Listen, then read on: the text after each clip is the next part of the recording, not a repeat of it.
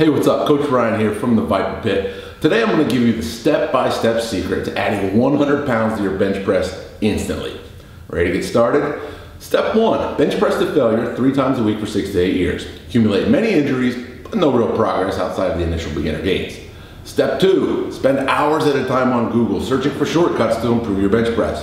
Find 10 million tips and shortcuts from people who have never have any bench press their own body weight.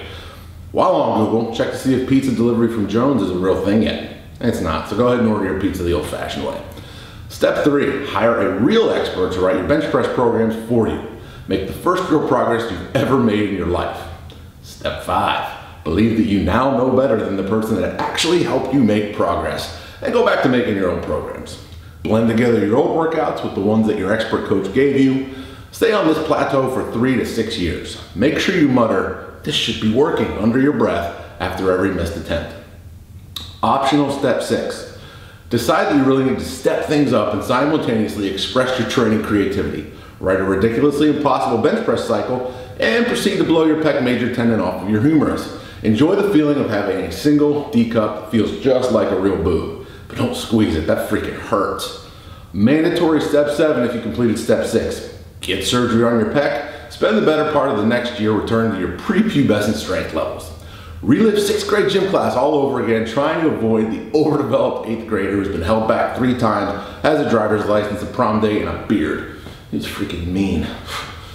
Step eight, once back to your pre-injury strength levels, get smart again. Hire another expert to write your programs.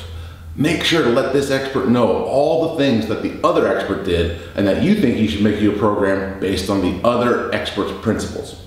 Get fired from this expert because you're a know-it-all punk who can't follow instruction. Then, make sure to go on Facebook, Instagram, Twitter, Snapchat, Grindr, wait, maybe not Grindr, and post about what a terrible and unqualified coach he is.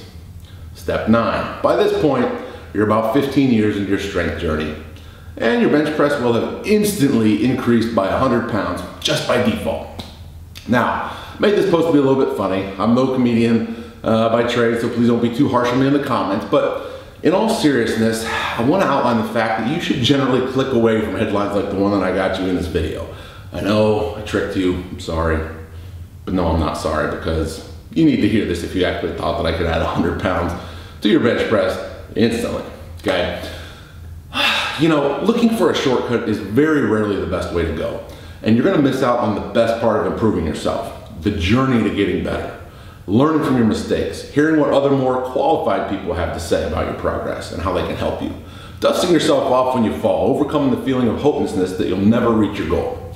I promise you that 500 pound bench press or 300 pound or 95 pound, etc., will be much more rewarding if you had to work hard for it, rebound from poor decisions, and spend time slaving away at your craft than it would be if you were just handed to you on an instant tip.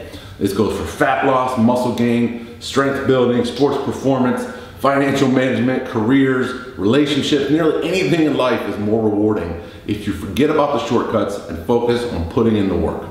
I hope you took something away from this video today. Uh, I'm Coach Ryan Fanley, and your homework assignment is to share this video with at least one person that needs to hear it. Talk to you soon.